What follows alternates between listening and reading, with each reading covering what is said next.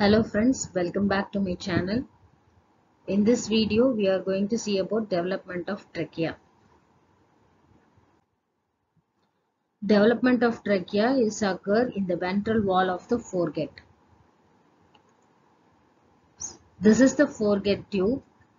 During fourth week, a median groove is arising, which is arising from the ventral wall of the foregut. This median groove is called laryngotracheal groove and it is also called respiratory diverticulum. So this margin of the groove, the margin of the groove which moves, which grows deeper in the caudocranial direction. See the margin of the groove which grows deeper in the caudocranial direction. This movement of the caudocranial direction arrests until the formation of the inverted U-shaped structure. Until the formation of inverted U-shaped structure.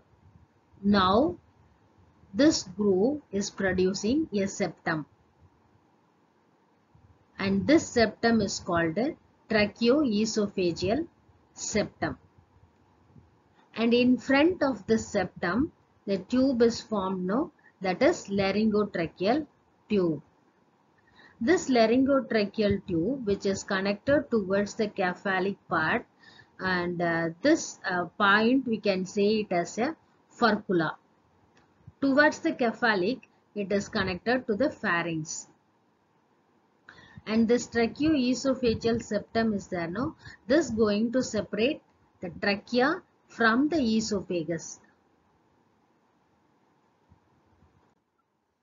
This one gives a clear picturization to you. This is the foregut tube and a groove, a median groove is arising in the ventral wall of the foregut. And there is a caudocranial direction uh, that is a groove uh, moves caudocranial direction.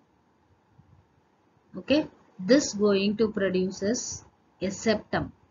Okay, inside it is going to produces a septum that will become the tracheoesophageal septum going to separate the trachea and esophagus. Now the trachea is the one which is going to bifurcate into two lung buds. So likewise the trachea it lies between the larynx and the lung buds that is towards the cephalic it is larynx is there and to the caudal it is lung buds are there. So this trachea lies between the larynx and the lung buds. And the laryngotracheal tube, it is surrounded by the splanchnopleuric mesoderm. So it is surrounded by splanchnopleuric mesoderm, whereas the foregut tube is endoderm. And this laryngotracheal tube is surrounded by splanchnopleuric mesoderm and this going to form the connective tissue, cartilage and the trachealis muscle. While read about the development of trachea, we must know the important birth defect conditions also. So likewise here we can see the condition that is tracheo, tracheoesophageal fistula. So in case of normal child, so here a septum is formed so that the separation of the trachea and esophagus can be identified.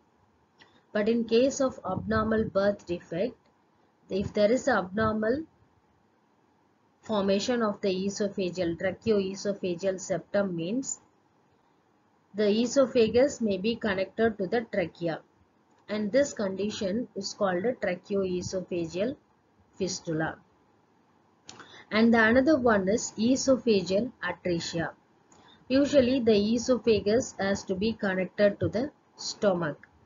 In case of this, here there is no either there is no recanalization of the esophagus occurs or it may not be connected to the stomach and this kind of birth defect is called esophageal atresia.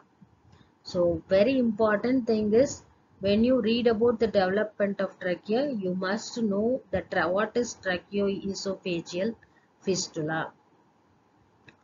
Thank you friends. Thank you for watching this video.